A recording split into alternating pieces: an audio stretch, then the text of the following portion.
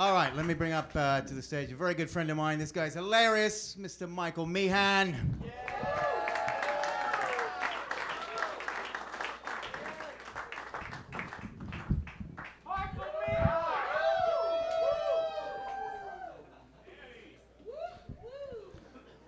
Hey, where's your brother?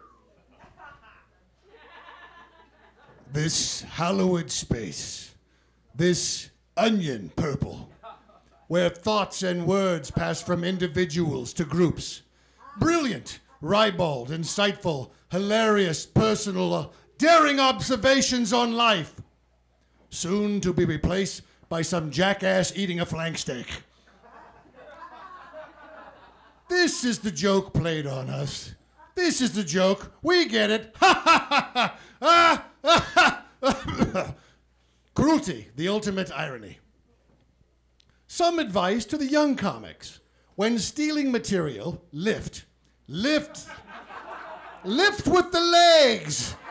Lift with the legs to prevent a back injury, and you'll have a long career. And now to the lady comics. There is no need to portray yourselves as slutty vagabonds. Take the high road. You're a woman. For God's sake, you have the ability to receive the magic juice from a man and thus produce another human being. Honor that! But still, please, wear those nice low cut tight tops. For those of you who don't like comedy or artistic expression, I hurl feces in your direction with all the fury of our simian ancestors, hurling the feces, hurling, hurling, hurling, mmm, hurling feces, hard work. Mmm, Coco wants snack. Where is snack for Coco? Mmm, Coco, snack, mmm. Ah, mmm, Coco. Coco worried. Where to express existential thoughts now that Purple Onion close? Where Coco perform now? Zoo? Daylight show?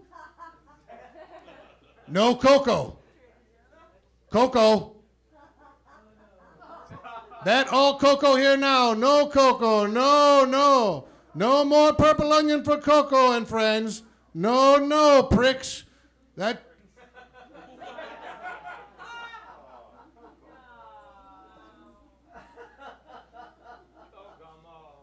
Coco?